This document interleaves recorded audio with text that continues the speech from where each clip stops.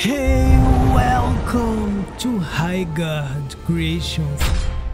In this video, I will show you a nice surprise. yeah, that's right. How to resize the width of the spacebar panel size, okay? Great.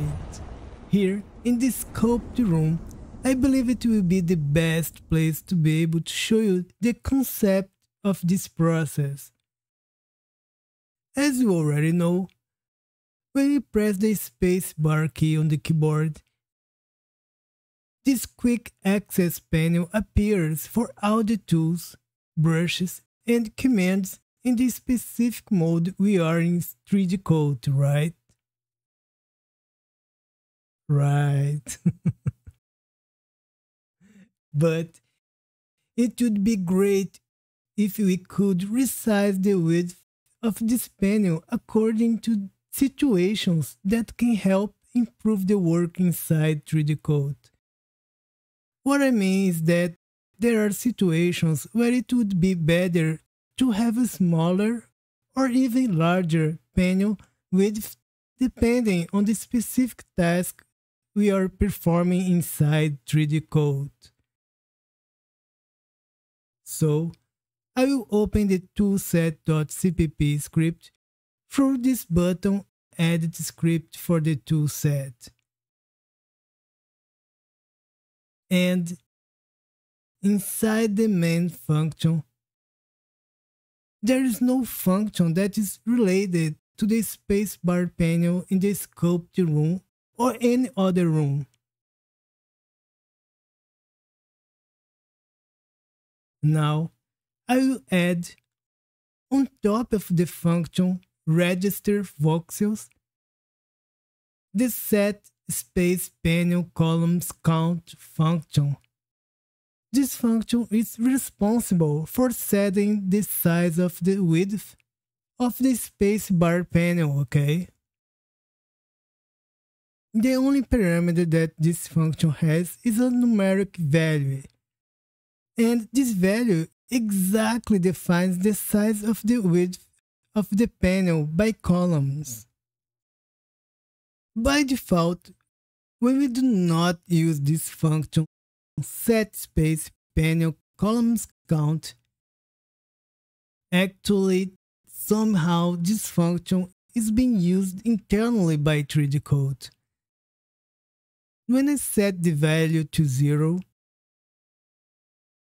this means the same thing as if you are not using the function here inside the script. So, the value 0 will be understood as if it were the default value of 3D Coat. To prove it, I will save the script, close it, go back to 3D Coat and click the OK button. And when I press the space bar key, as you can see, the panel is still the same size as the previous default panel, right? Right. I'm going back to the toolset.cpp script. And now, when I set the value to 16, let's see what will happen with the panel. One more time, I will save the script. Close it, go back to 3D Coat and click the OK button. And pressing the spacebar key. As you can see, the panel is still exactly the same size, right? Right. That's because the default value 3D Coat uses internally is 16, okay? I return to the toolset.cpp script. And now, inside the function set space panel columns count, I will change this value to 1. I will save this script, close it, back to 3D Coat, click the OK button. And pressing the spacebar key, as you can see, the result will be a panel with a width of just a single column, which is the exact size of a functionality button, right? Right. so, I'm going to simplify things here. To know the exact size of the width of the spacebar panel, just think about how many columns or how many tools in the same row of the panel there will be, okay? Great. For this another example, I will go back to the toolset.cpp script. And one more time, inside the function set space panel columns count, I will set the value to 4. Perfect. The reason for this is simple. I would like the width of the panel to correspond to only four functionalities buttons, okay?